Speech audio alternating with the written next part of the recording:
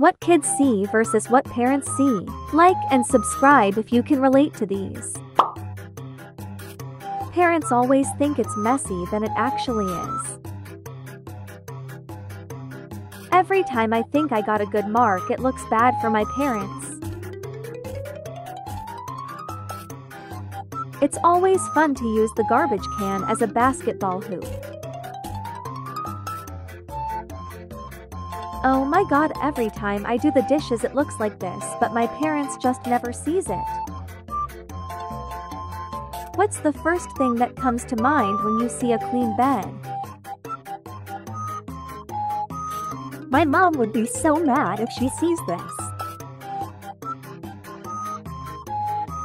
Oh my god, this is so slay. Um.